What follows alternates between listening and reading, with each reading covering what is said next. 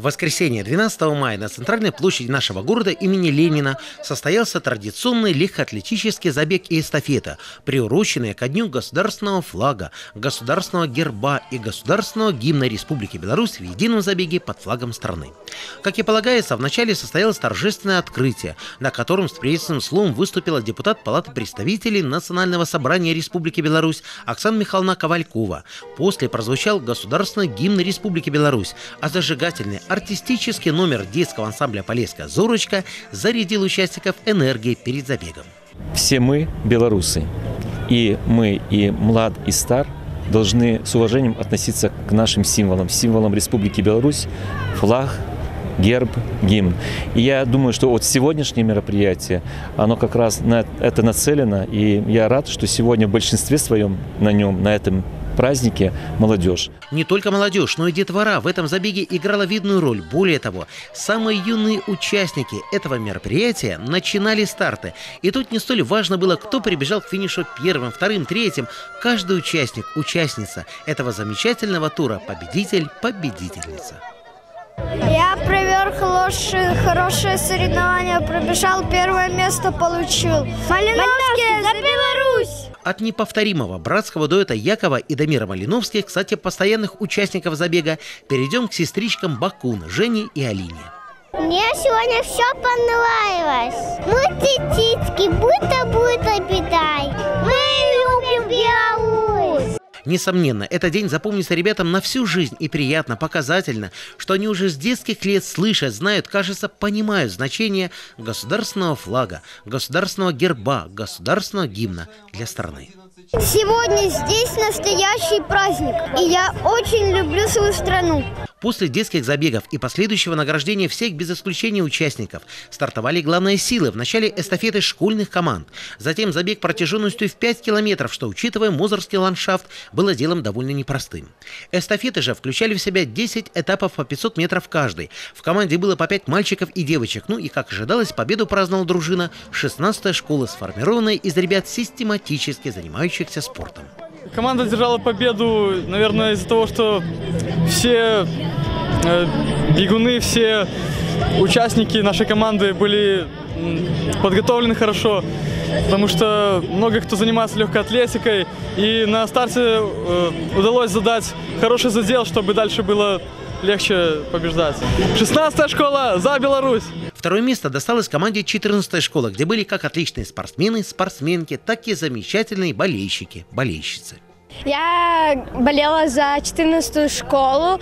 Э, я верила и знала, что мы войдем в призы, потому что у нас очень сильная команда. И вообще мне приятно, что есть такой праздник флага, герба и гимна. Раечка была болельщицей, но такой активной, что мы смело называем ее вице-чемпионкой этого замечательного эстафетного тура, где бронзовую медаль в упорном противоборстве на финише с командой 9 школы завоевала дружина гимназии имени Янки Купалы.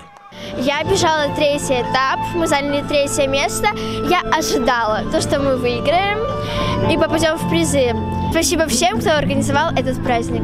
Главным организатором этого легкоатлетического забега стал отдел спорта и туризма Мозорского районного исполнительного комитета.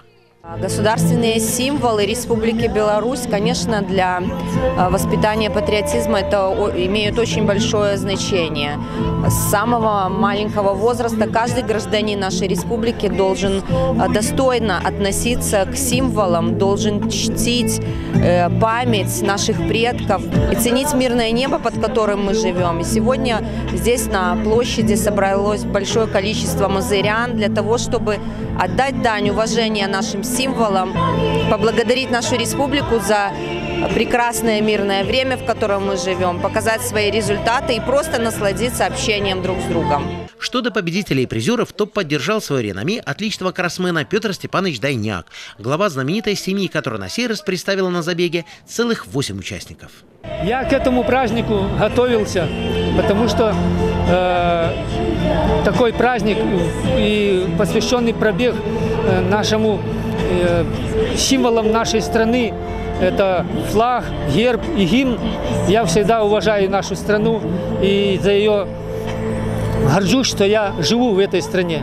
Петр Степанович победил самой старшей возрастной категории, где второе место занял Леонид Владимирович Жатьков. В группе 50-59 лет лучшим стал Олег Снегайло. В категории 40-49 лет Юрий Дайняк, Александр Денисов, Алексей Володькин. До 29 лет Владимир Мукша, Михаил Кураш и Денис Сурко. Наконец, в группе 30-39 лет бронзовый призер Евгений Макей, вице-чемпион Игорь Дайняк, чемпион, абсолютный победитель забега Виталий Старушенко. В таком подобном роде соревнований участвую впервые. Тут решил первый раз в этом году. Были мысли побегать длительную или сегодня поучаствовать. Выбрал, естественно, пятерочку. Трасса довольно-таки интересная, с горочками, что ну, позволяет, скажем, отрабатывать этот особенный навык э, э, бег в горочке. В следующем году планирую также принять участие в этом старте. Очень понравилось. Виталий Сергеевич – представитель Мозырского НПЗ, как и наша следующая собеседница, победительница категории 35 лет 44 года Ольга Санна Резкая. Участвовать всегда приятно на родной земле, когда проводят такие пробеги. Ну, целью выиграть у меня не было, но, конечно, бы было очень замечательно, если бы выиграла.